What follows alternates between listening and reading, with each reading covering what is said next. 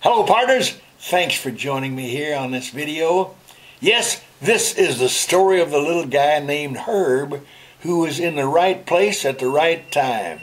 Herb grew up in a near poverty state in Connellsville, Pennsylvania, little town about an hour southeast of Pittsburgh. But when Herb was born in 1905, Connellsville was nearly a lifetime away. Anyone who wanted a job could easily find one. Connellsville was known as the Coke capital of the world. now, partners, by Coke, I don't mean Coca-Cola. No, what I'm talking about was another kind of Coke. It was a vital part of steel making. You see, Coke is a type of hotly burning fuel that the blast furnaces needed. A special kind of coal was mined in the hills around Herb's hometown. The coal was then superheated in what are called coke ovens. What was left was called coke, C-O-K-E.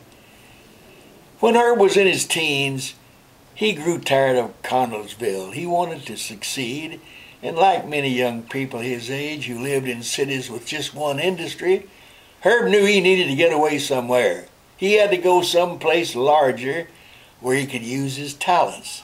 And Herb was a very talented young man.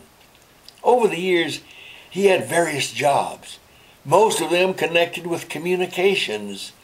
Now, as I like to do, let's fast forward to the mid 1940s Herb had been assigned by the United States Army Air Force Corps to work with complex electronic equipment. You see, because he had hung around radio stations most of his life and had a background in on-the-air broadcasting, Herb had known a lot of radio engineers along the way. They taught him that there was more to radio than just talking into a microphone. Well, late one night, a military police officer came and told Herb that he was under house arrest. He was what? You heard me. Herb hadn't done anything wrong. No, he was being sent on a special assignment. Now, partners, this is wartime, and secrecy was most important.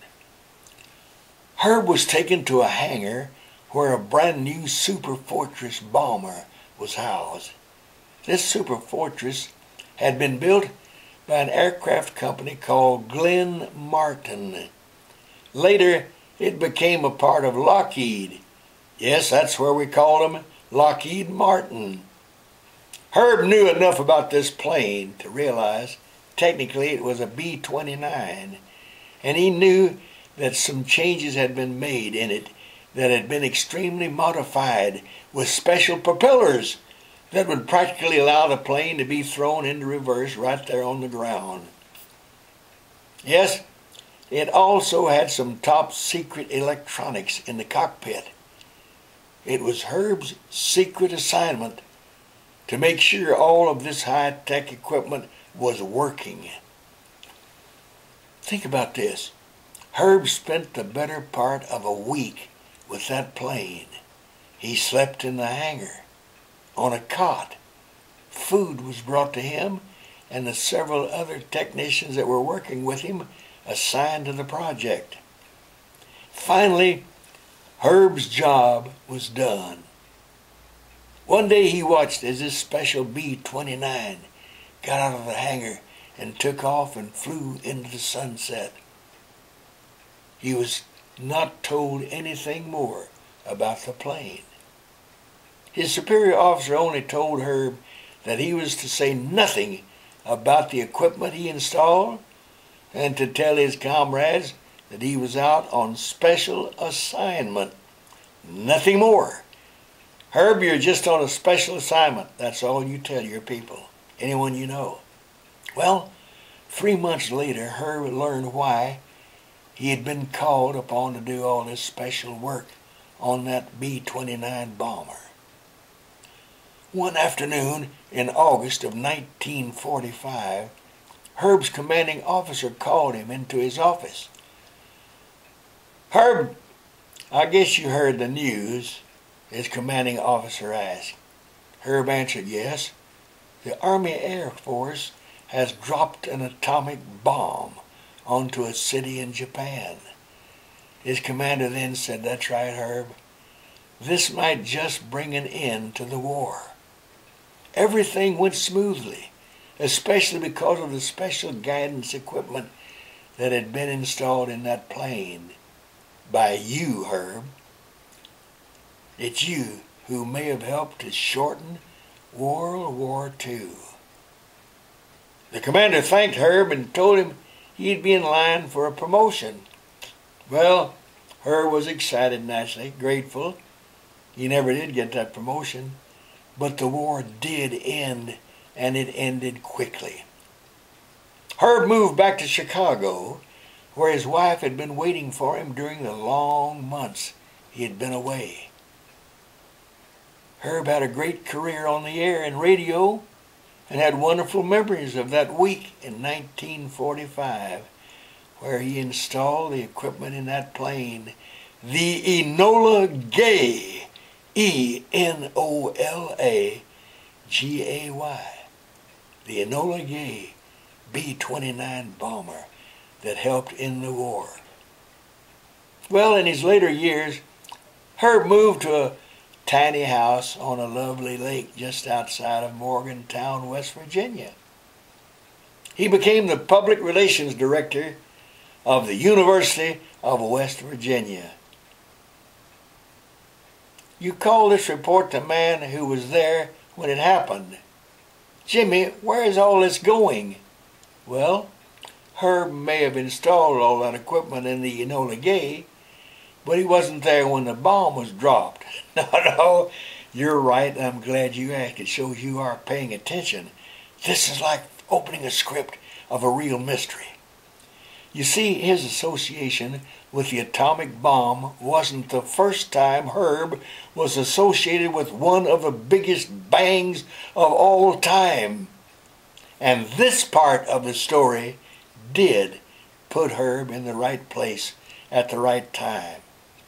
Will you tell us? Yeah, yeah. You see, back in 1937, Herb was working for Chicago radio station WLS.